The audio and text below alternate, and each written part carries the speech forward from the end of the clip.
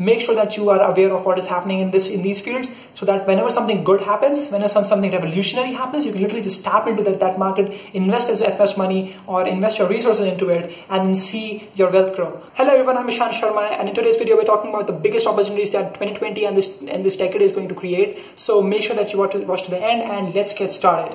So uh, I, I don't know if you know this or not but 2020 and 2019 has all been has always been about you know Shopify, Amazon FBA, um, what do you call it, uh, influencer marketing, TikTok marketing, um, and everyone talks about Instagram marketing and, and and you know email marketing has been going along from the from the last decade and stuff.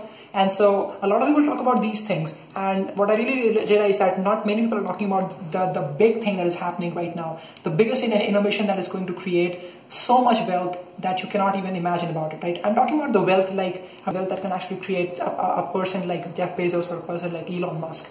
Okay, that is the kind of wealth that I'm talking about. Let me tell you what I'm, I'm talking about exactly. Okay, and for that, we'll have to go to the board. All right. So let's jump right into it. And now for context, let me actually take you back to the second industrial revolution and let me show you the four people that were the richest at that time. And okay, and what kind of field that they were working on.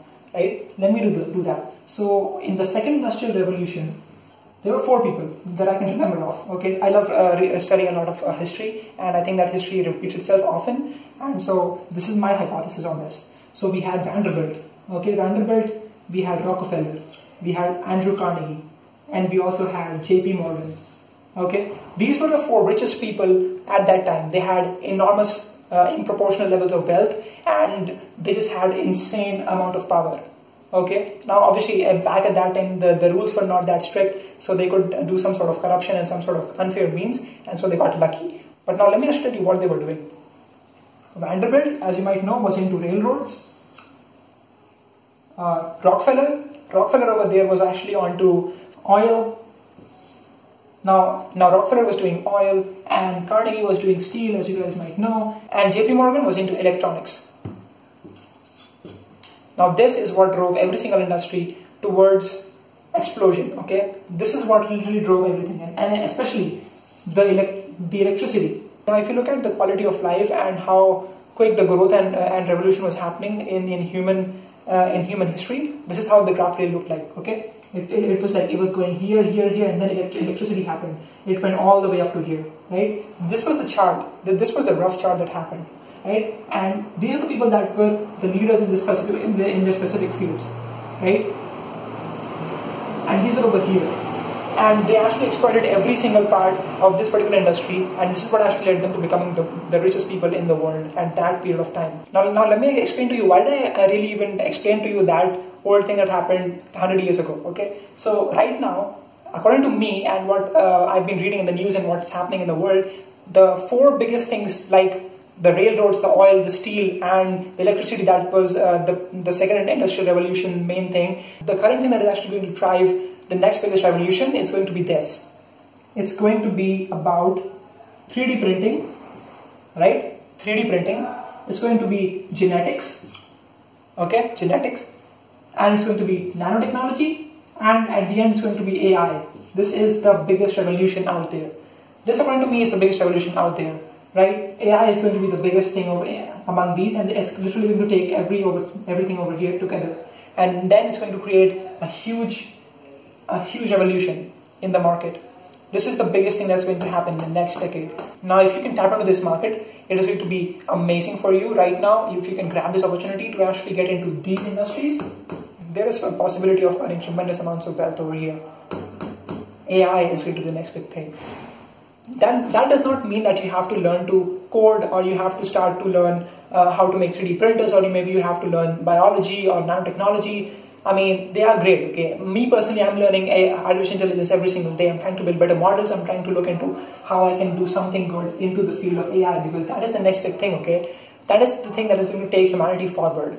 Okay, but that is not what you have to do. Okay, you don't you don't necessarily have to code or do any of these. Learn how to do any of these skills to be you know to be to be great at it. Right. What I'm actually going to tell you is that you have to look out for the opportunities. All right.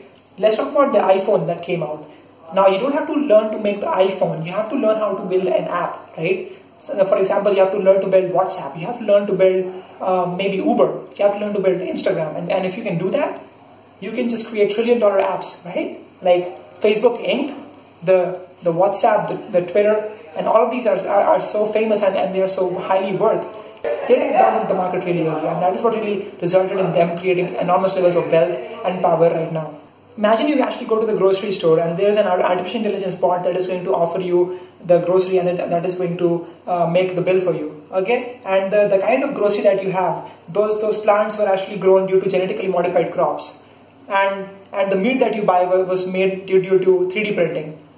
I mean, this is the kind of weird shit that could actually happen, right? We no more, we no longer have to uh, kill uh, you know animals to actually generate meat. We could literally just just make our own by using 3D 3D uh, technology and some other stuff that, I'm, that I'm talking about. Okay, and nanotechnology is going to be there. Genetics is going to be huge.